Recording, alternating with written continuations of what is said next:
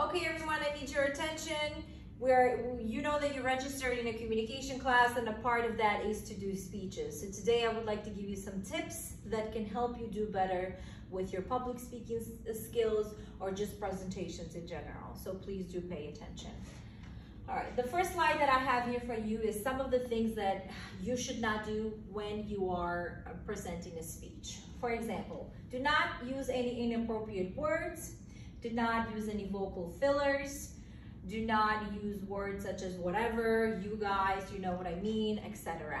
Now, if you use these words once, it's okay. If you use them twice, it's okay. But if you use them a third time, that means that I see a pattern. So I do need you to eliminate those words. In addition, when you do a presentation, you're doing a professional presentation. That's for that's why your English has to be good. We cannot have any bad grammar. So please make sure that you speak appropriate English. Um, and then you want to make sure that you are prepared, so please do not come to class saying that you are not, all right? Um, going back to bad grammar here, I have an example here for you, like uh, the word ain't this, ain't that, you know, that's an example of using bad grammar, so please just try to eliminate similar words, all right?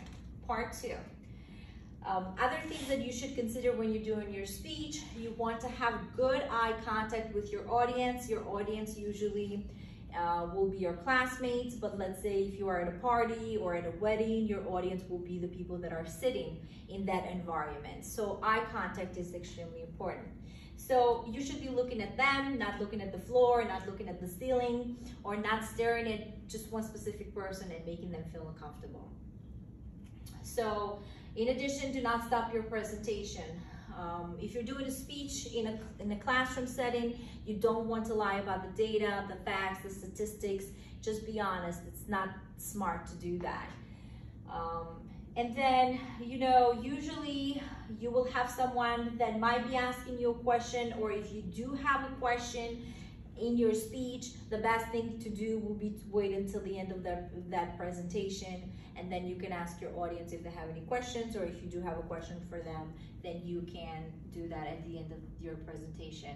I don't recommend for you to lie about the answer. If you don't know the answer to something, just be honest with your audience and say, I don't have that information, let me do my research and I will get back to you. And that is the best thing that you can do. All right.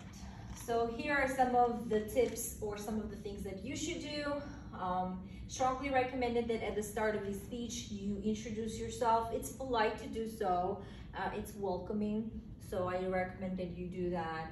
You want to thank your audience for being present in your presentation. Again, and as, as I said earlier, you want to have strong eye contact and good body language. In other words, body language is nonverbal communication, so that means like moving around. Like for example, you see how I'm moving. Uh, when I'm doing this presentation, I'm not staying in one place. You want to use your, your legs, you want to use your hands, you want to use your facial expressions and all of that. So body language is a good component to have. All right. And part two, you want to smile, a natural smile, not a faked smile. You want to smile. Um, try the best that you can to control your anxiety and your breathing. If you have to take a moment, then just take a moment. That's absolutely fine. Take the questions from your audience at the end of the presentation. Number four here for you is dress nicely. Uh, dress professionally, take your time to take care of yourself. And I'm not saying you should buy expensive dresses or expensive outfits, but you need to look presentable. So, you know, just don't come to classroom or don't go to an event with, you know, jeans or PJs because that is not how you want to do that. Um, in addition here, we have that uh, technology problems. Now, if you have a presentation that will be in front of a lot of people, let's say like 100 people, 200 people or more, you need to check your technology. It happens all the time that sometimes your technology doesn't work and then you're gonna have to still do the presentation, but then now you don't have the technology back up. So please make sure that you come to the event or the class or whatever it is early so you can take care of the technology problems. And then towards the end over here is be open-minded. Please do not think that you know everything.